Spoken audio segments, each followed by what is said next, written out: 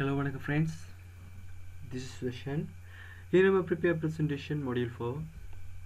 போன கிளாஸில் வந்து ஒரு பவர் பாயிண்ட் ஸ்லைட்ஸ்களுக்கு இடையில் வந்து இப்படி மியூசிக் கட் பண்ணிட்டு பார்த்துருந்தோம் அப்போ இந்த கிளாஸில் வந்து நம்ம பார்க்க போகிற விஷயம் அப்படின்னு சொன்னால் ஒரு பவர் பாயிண்ட் ப்ரெசன்டேஷனில் இப்படி ஒரு ஃபோட்டோ ஆல்பம் வந்து க்ரியேட் பண்ணி அவர் அப்படி நம்மளோட தேவைக்கேற்ற மாதிரி டிசைன் பண்ணி நம்மளோட தேவைக்கேற்ற மாதிரி செஞ்சு கொள்றேன்னு பார்க்கலாம் ஓகே நான் டிரெக்டாக வந்து ப்ரெசன்டேஷன் டிரெக்டாக ஓப்பன் பண்ணி கொடுக்குறேன் ஃப்ரெண்ட்ஸ் ஓகே வந்து இப்போ நான் என்ன செய்கிறேன்னு சொன்னால் இந்த ப்ரெசன்டேஷனுக்கு வந்து இப்போ நான் ஆல்ரெடி சொன்ன மாதிரி வரைக்கும் நான் அந்த ஸ்லைடுக்கு ஒரு சைஸை கொஞ்சம் மாற்றிக்கொள்ள போகிறேன் அப்போ நம்ம வந்து சைஸ் வந்து ஒரு பதினஞ்சு இன்ச்சஸில் வச்சுக்கொள்கிறேன்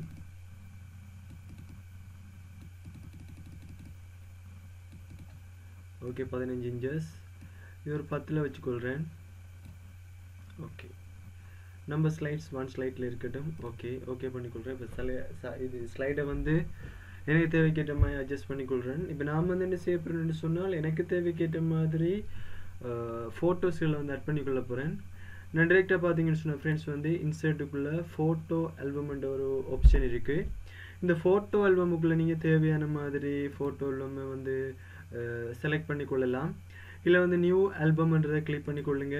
இதில் கிளிக் பண்ணிங்கன்னு சொன்னால் இல்லை வந்து இன்சர்ட் ஃபிக்சர் ஃப்ரோம் அதாவது வந்து உங்களோட எங்கேருந்து உங்களோட ஃபைலில் வந்து இமேஜ் ஃபைலை வந்து ஆட் பண்ணிக்கொள்ள போகிறீங்களோ அதில் வந்து ஃபைல் டிஸ்க்கு கிளிக் பண்ணிங்கன்னு சொன்னால் செலக்ட் பண்ணுற அவ்வளோ இமேஜஸும் வந்து இந்த ஆல்பமுக்குள்ளே வந்து க்ரியேட் ஆயிரும். அப்போ நான் செலக்ட் பண்ணிக்கொள்கிறேன் ஓகே நான் ஆல்ரெடி வந்து இந்த இமேஜஸ் எல்லாம் வந்து டெஸ்க்டாப்பில் ஆல்ரெடி அப்ளை பண்ணி வச்சுருக்கேன் ஃபோட்டோ ஆல்பம்னு சொல்லி. ஓகே டெஸ்க்டாப்பில் போய் பார்ப்போம். Okay new photo album double click பண்ணிக்கொள்கிறேன் இப்போ தேவையான இமேஜஸ்னால் இதில் வந்து டென் இமேஜஸ் இருக்குது அப்போ நான் இவரை ஓல் செலக்ட் பண்ணிக்கொள்கிறேன் கண்ட்ரோலே அப்போ அல்லது கண்ட்ரோட கிளிக் பண்ணி உங்களுக்கு தேவையான மாதிரி இமேஜஸ்கள் ஆட் பண்ணாலும் ஓகே தான். இப்போ நம்ம வந்து டென் இமேஜஸ் இருக்குது ஓகே இவர் ஆட் பண்ணிக்கொள்கிறேன் இதில் பார்த்து சொன்ன ஃப்ரெண்ட்ஸ் வந்து இமேஜஸ் வந்து உண்மைக்கும் ஒழுங்காக இருக்கணும்னு சொன்னால் நான் ஒரு எடிட்டிங்காக வேண்டி இதில் வந்து லேண்ட்ஸ்கேப் இமேஜஸும் போட்டிருக்கேன். வந்து போர்ட்ரைட்டில் இமேஜஸும் போட்டிருக்கேன். உங்களோட தேவைக்கேற்ற மாதிரி எடுத்த அந்த குறிப்பிடப்பட்ட இமேஜஸ்களுக்கு வந்து நீங்கள் பிரைட்னஸ்களை கூட்டிக் கொள்ளக்கூடிய மாதிரி இருக்கும். பிரைட்னஸை குறைச்சி கொள்ளக்கூடிய மாதிரி இருக்கும். இல்லை டார்க்னஸ் அப்படி இப்படி எல்லாம் வந்து நிறைய இது செய்யலாம் ரொட்டேஷன் பண்ணி கூட எடுக்கலாம். தேவையில்லாத இமேஜஸ்களை வந்து செலக்ட் பண்ணி நீங்கள் ரிமூவ் பண்ணி கொள்ள கூட மாதிரி இருக்கும். அப்போ கூட தேவைக்கேற்ற மாதிரி நீங்கள் அந்த அளவுக்கு எடிட் பண்ணக்கூடிய மாதிரி இருக்கும். இதில் வந்து அப்போ ஒரு பேசிக்காக வந்து ஒரு பாப்பாயினில் வந்து ஒரு இமேஜஸை வந்து இப்படி ஒரு ஆல்பம் ஒன்று க்ரியேட் பண்ணிட்டு தான் இப்போ பார்க்க போகிறோம் இப்போ நான் வந்து இதில் வந்து ஓகே இப்போ எல்லா இமேஜஸும் வரணும் ஓகே நான் இதை வந்து இதில் க்ரியேட் க்ரியேட் பண்ணிக்கொள்கிறேன். இப்போ இதில் இதில் பார்த்தீங்கன்னு சொன்ன ஃப்ரெண்ட்ஸ் அப்படின்னு சொன்னால் முக்கியமான விஷயம் உண்டு. பார்த்துக்கொள்ளுங்க வந்து இதில் வந்து முதலாவது டோட்டலி வந்து டென் ஸ்லைட் தான் நம்ம அப்ளை பண்ணோம். அதாவது வந்து டென் இமேஜஸ் தான். பட் இதில் வந்து என்ன சொன்னால் அந்த முதலாவது யூசர் அக்கௌண்ட் அதே யூசர் அக்கௌண்ட்டில் வந்து க்ரியேட் பண்ணி விட்டுருவாரு. பார்த்துக்கொள்ளுங்க வந்து இப்போ நான் ஃபோட்டோ ஆல்பம்ன்ற பேரில் அப்ளை பண்ணியிருக்கேன் ஓகே இந்த யூசர் அக்கௌண்ட் வந்து எஸ்எஸ் வழியாக இந்த இந்த யூசர் அக்கௌண்ட் பேரில் இருக்குது ஓகே இதில் வந்து நம்ம எதுவும் முன்னுக்கு டைட்டில் போடுற சப்டைட்டில் போடுற இதெல்லாம் வந்து ஃபோர் ஹண்ட்ரட் போட்டுக்கொள்ளலாம். இது என்னத்துக்கு யூஸ் ஆகும்னு சொன்ன ஃப்ரெண்ட்ஸ் வந்து இப்போ நான் ஆல்ரெடி சொன்ன மாதிரி. அப்போ சின்ன ஒரு வீடியோ எடிட்டிங் மாதிரி என்ன மாதிரி நம்மளுக்கு தேவையான இமேஜஸ் எல்லாம் இன்சர்ட்டுக்குள்ளே போய் ஆட் பண்ணி ஆட் பண்ணி எடுக்கிறத விட டிரெக்டாக ஒரு ஃபோட்டோ ஆல்பம் மாதிரி க்ரியேட் பண்ணி விடலாம். இதில் பார்த்து முடிச்சுன்னா முதலாவது ஸ்லைட் ஓகே இப்போ ரெண்டாவது ஸ்லைடில் பார்த்த முடிச்சுன்னா ஃப்ரெண்ட்ஸ் வந்து இந்த இமேஜ் வந்து ரொம்ப இது வந்து ஃபோர்ட்ரேட்டில் இருக்கிறபடியாக இந்த பிரச்சனை ஒன்று இருக்குது நம்மளோட தேவைக்கேற்ற மாதிரி இவரை அட்ஜஸ்ட் பண்ணிக்கொள்ளலாம்.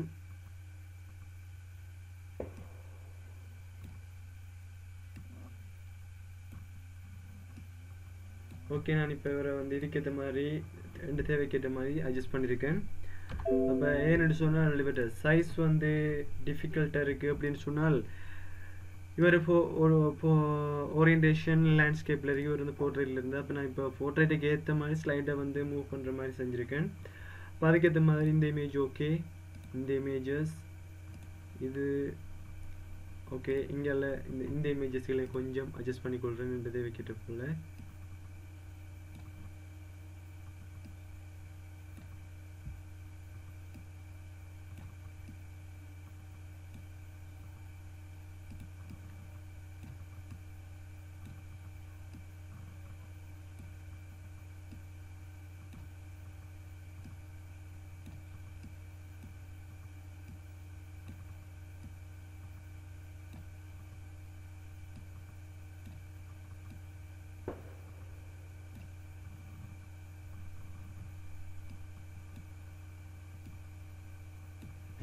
ஓகே இந்த இமேஜை அட்ஜஸ்ட் பண்ணிக்கொள்ளுதேன் இங்கே இதே மாதிரி சில இமேஜஸ்கள் இருக்குது அவரை கொஞ்சம் அட்ஜஸ்ட் பண்ணிக்கொள்கிறேன்.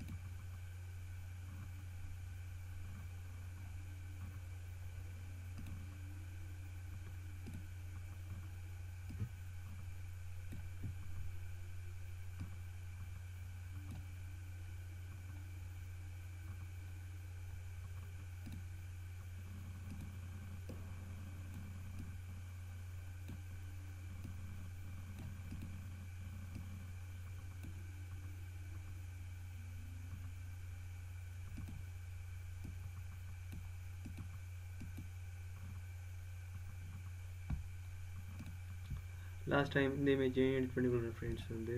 அட்ஜஸ்ட் பண்ணிக்கொள்கிறேன்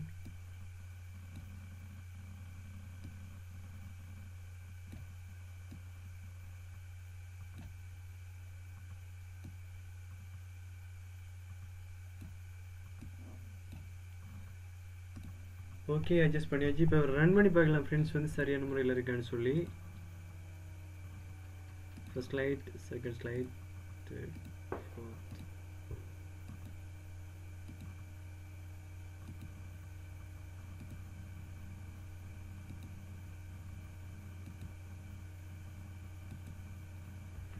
okay பாருங்கள் ஃப்ரெண்ட்ஸ் வந்து இதில் என்னென்னு சொன்னால் இப்போ நான் வந்து இமேஜஸ் தான் ஆட் பண்ணி கொண்டுட்டேன்.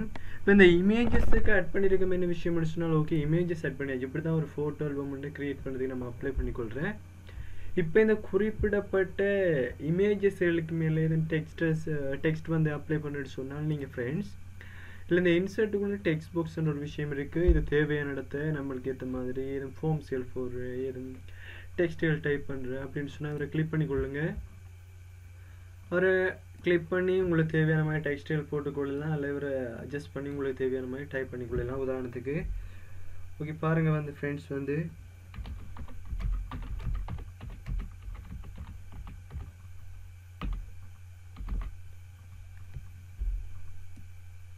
இவரை நான் செலக்ட் பண்ணி கொண்டிருக்கேன் இப்போ தேவையான மாதிரி இவருக்கு ஃபோன் சைஸை கூட்டிக்கொள்கிறேன் ஓகே போல்ட் பண்ணிக்கொள்கிறேன் தேவையான கலர் செலக்ட் பண்ணிக்கொள்கிறேன்